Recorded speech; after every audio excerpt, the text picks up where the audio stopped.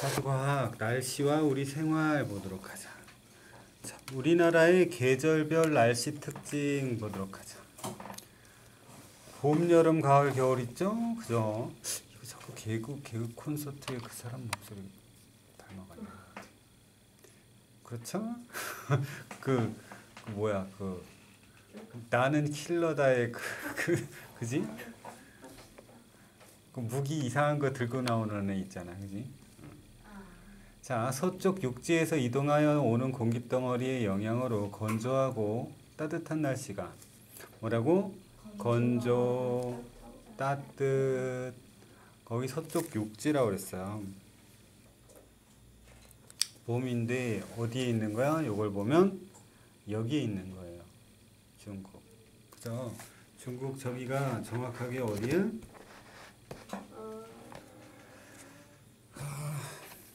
여기 있는 거죠.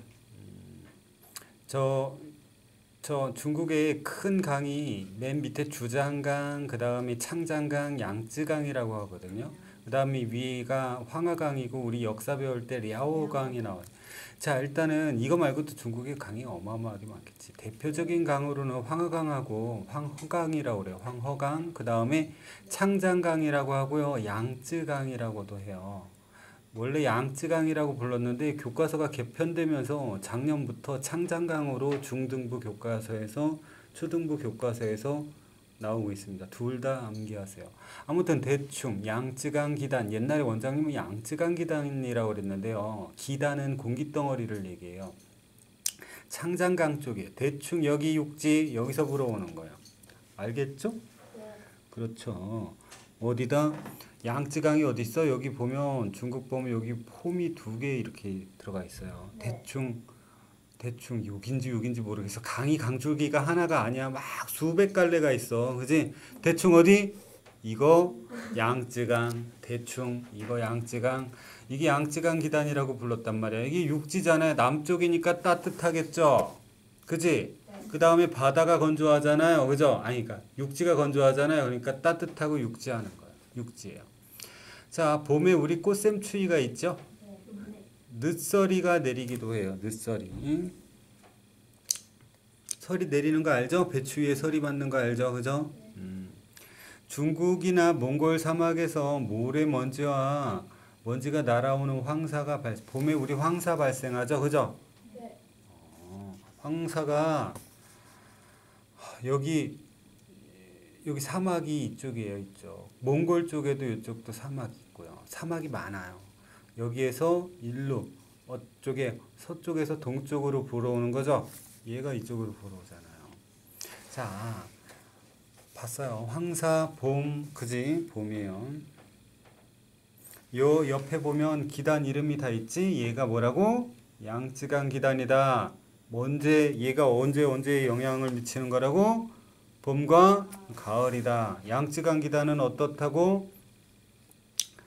온, 건조하고 어때요? 온도가 높아요. 그것만 외우세요. 여름 볼게요. 남쪽 바다에서 이동해서 오는 남쪽 남쪽 바다니까 남쪽이니까 덥고 바다니까 습하겠죠. 당연하죠. 초여름에는 차가운 바다에서 이동해서 오는 공기덩어리와 따뜻한 바다에서 이동하는 공기덩어리가 만나서 비가 자주 내려요. 이게 찬 거랑 따뜻한 거랑 만나면 어떻게 된다라고 그랬어요 저번 시간에? 응결된다라고 그랬죠? 그죠? 장마가 나타나는 거예요. 우리 여름이에요. 초여름은 이쪽 여름은 이쪽. 둘 다 뭐예요? 더 습해요 둘다 습해요 그죠 둘다 습해요 여기가 더 덥겠죠 그죠 요건 초여름 요것은 여름 이쪽 이쪽은 오츠크의 기단이에요. 오츠크의 기단. 오츠크에는 여기를 얘기하는 거예요.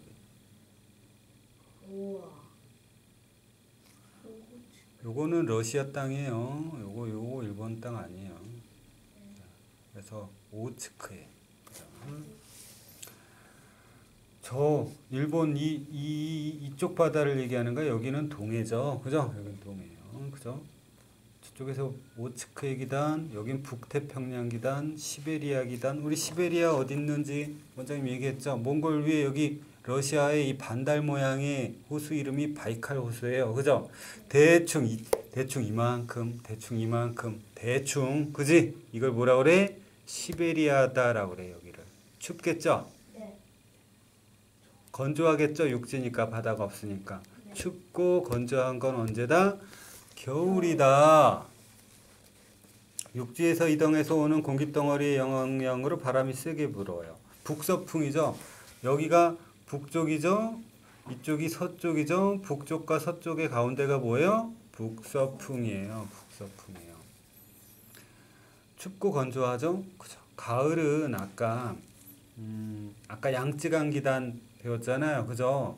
어, 건조하죠. 그죠? 육지니까. 그 다음에 어, 그래도 밑에 쪽이니까 약간. 따뜻하겠죠? 그죠? 음, 여름보다는 선선하겠지만, 그지?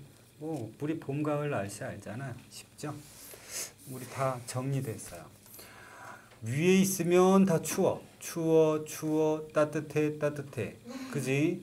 건조해, 건조해, 습해, 습해. 그죠? 네. 이건 봄, 가을, 이것은 겨울, 이것은 여름, 이 새끼는 초여름, 그지? 암기했어요. 그죠? 응? 우리나라의 계절별로 날씨가 다른 까닭은 계절에 따라 성질이 다른 공기 덩어리. 뭐예요? 어, 공기 덩어리의 영향을 받아. 뭐? 성질이 달라요. 저 네 가지 공기 덩어리가. 기단이라고 그래. 알았죠? 네. 알았죠? 응? 우리나라의 계절별 날씨에 영향을 끼치는 공기 덩어리의 성질은 위에 있는 거는 뭐라고? 차가워. 그죠? 밑에 있는 건 따뜻해. 그리고 육지에 있는 건 건조해. 그 다음에 바다에 있는 건 습해. 쉽지요. 날씨가 우리 생활에 미치는 영향. 날씨 예보를 확인할 수 있는 방법. 날씨 예보. 자, 131 실습해보자. 그냥 131이라고 적어하면 돼요. 나도 안 해봤어. 진짜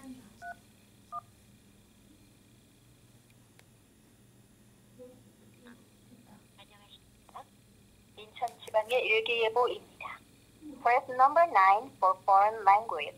인천, 강화, 김포, 부천 1번, 백령도 등 서해 5도 2번, 다른 지역의 날씨를 원하시면 99번, 기상 콜 기상 예보를 위해 등록된 시군명을 말씀해 주시거나 지역 번호를 입력해 주십시오. 안녕하십니까? 인천 지방의 일기예보입니다. 인천, 강화, 김포, 부천 1번, 백령도 등 서해 5도 2번, 다른 지역의 날씨를 원하시면 안녕하십니까?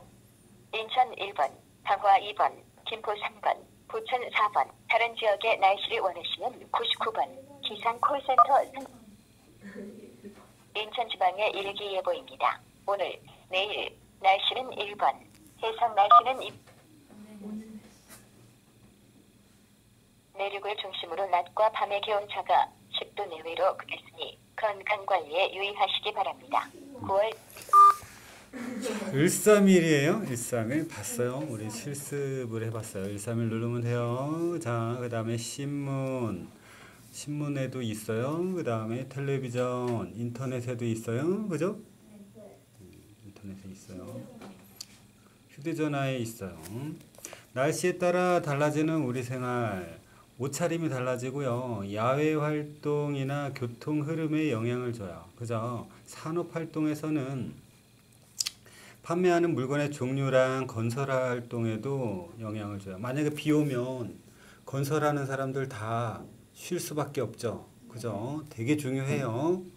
사람들 인건비가 어마어마하게 달린 거야. 그리고 무거운 거 막 유리창 3천 개 들고 오는데 비가 와. 크레인도 다 시켰어. 어마어마하게 큰 거. 그거 한 시간 쓰는데 막, 막 천만 원씩 줘야 되는데, 그지? 어? 비가 오네. 그러면은 큰일 나죠. 이거 되게 중요한 거겠지. 산업활동에서 건설 같은 거에서. 그지? 되게 중요해요. 그리고 내가 수박을 팔라고 수박을 4천 개 샀어.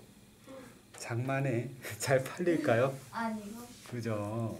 잘 생각해야 되겠죠. 물건의 종류. 그지? 네. 맞죠.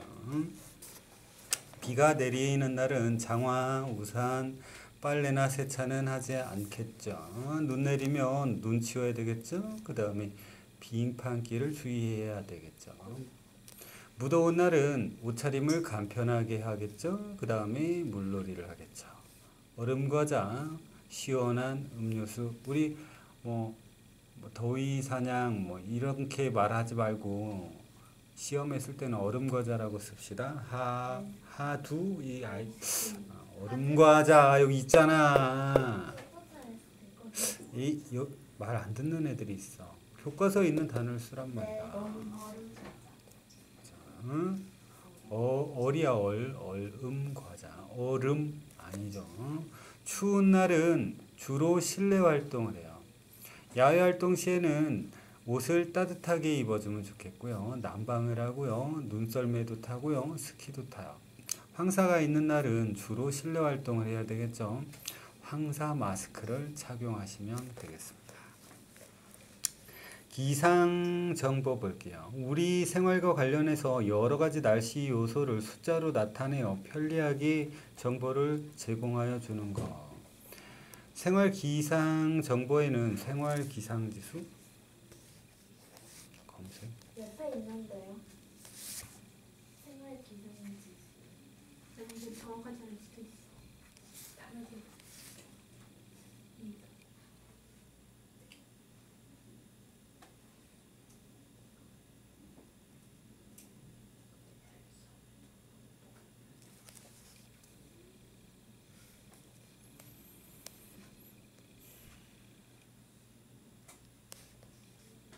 서비스로 나오는 거 없나?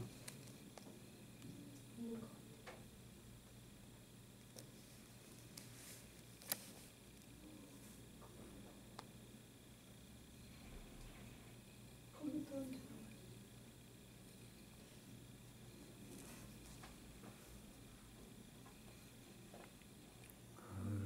이거는 그거랑 똑같잖아. 이거.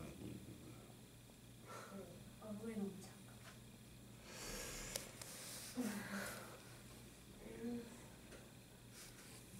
그게 중요해? 원장님이 그렇게 생각나는 대로 말하지 말라 그랬지. 네. 상대방이 불쾌하니까. 이, 이 여자 원장님이랑 상관없는 사람인데도 왜 내가 기분 나쁘지? 선생님이랑 조용해. 자, 생활 기상 정보에는 생활 기상 지수가 있어요. 자외선, 식등, 식중독 이런 거랑 관련이 있대요. 그죠? 산업 기상 지수는 과일, 수산물, 운송 등에 관련된 거고요. 보건 기상 지수는 감기, 피부 질환, 건강과 관련된 정보예요. 자외선 지수가 6이야. 높은 지금 6이면 높은 거죠, 그죠? 그죠? 오늘 자외선 지수는 어떻다? 그러면은 요런 날은 어떻게 하고 가야 되겠어? 선크림 좀 많이 바르고 그리고 나가면 좋겠죠. 식중독 지수예요. 어, 78, 78이면 어디예요? 여기죠, 여기 경고죠, 그죠? 경고죠. 그 다음에 불쾌 지수 매우 높은 음, 불쾌감을 줄 수 있어요. 저런 게 생활 기상 지수예요. 바람의 방향과 빠르기를 측정하는 기구. 바람의 방향을 알 수 있는 방법은 작은 나뭇잎이 살랑거리는 모습. 저기 뭐지? 너네 초등학교 이름 뭐지? 시- 송 송원 초등학교 앞에 그 담벼락에다가 바람개비 한 몇십 개 달아놨더라. 음. 그리고 또 풍력 발전기도 있더라, 그지? 그거 보면 알겠죠? 연기가 지표면에 가까이에서 움직이는 모습, 깃발이 흔들리는 모습 보면 될 거예요. 연기가 지표면 가까이에 움직이면 바람이 부는 거죠. 근데 높이 올라가면 바람이 안 부는 거죠. 자, 바람의 방향하고 빠르기를 측정하는 거야. 이걸로는 방향을 알겠고. 얘는 방향밖에 안 하는 거죠. 자, 요거는 풀도록 하고요. 일단은 요거는 누를게요. 누르고